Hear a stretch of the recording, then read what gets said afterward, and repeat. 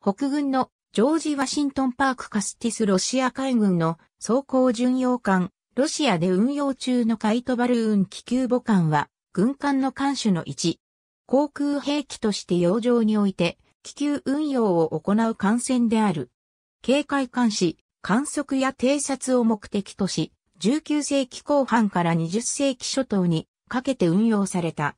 18世紀に気球が発明され、上空から見晴らすことができる機械として軍事利用も行われていた。これを洋上航空兵器として用いることが始められたのは19世紀半ばのことである。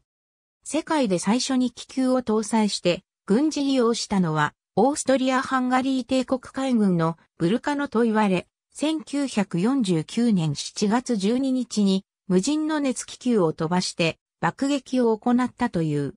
アメリカ南北戦争においては水素ガスによるガス気球などが軍事利用された。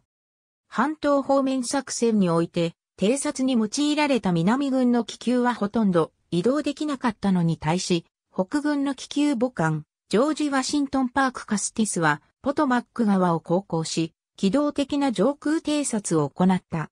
ジョージ・ワシントン・パーク・カスティスは、石炭輸送用橋家を改装したものであり、環状構造物がほとんどなく、ガス発生器と気球の着艦高速装置が備え付けられていた。偵察状況は電信により報告された。北軍では他にも数隻が気球母艦として用いられている。第一次世界大戦までに、イギリス、フランス、ドイツ、イタリア、スウェーデン、ロシアなどでも建造された。しかし、飛行機が発達し、航空母艦及び水上機母艦が用いられるようになると、気球母艦は戦後になって退役や改装が行われ廃止された。